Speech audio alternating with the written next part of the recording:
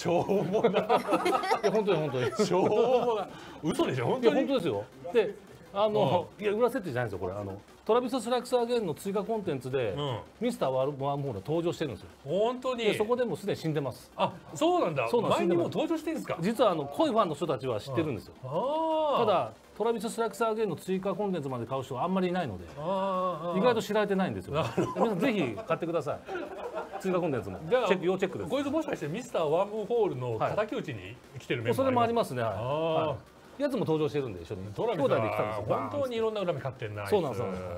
はい。そんなミスターブラックホールなんですけれども。ちなみにその時にムチ打ちになったんですよトラビス。そのその戦いで。あそうなんそだこからなんだ。そうそこからなんですよ。冒頭であのムチ打ちになってたのそれなんだ、はい、あれ通外コンテンツの戦いだったんですこれかあの、へ車の追突とか食らったわけではないんですね違うんです戦い。なるほどね、う。ん、まあ俺は追突使ってこれ同じことになりましたよ、うん。乗ってた車が廃車になりましたおかげでねよく生きてました。よかったいや中田さん。アメ車丈夫よです。かったです。あみんなアメ車に乗ろう。アメ車硬いぞ、感情だからね。うん、いやチャレンジャー乗りたいですよね。ねチャレンジャー人生で一回乗りたいですね。700馬力のあねの感触はまた乗りたいな。ないないいですね。うん。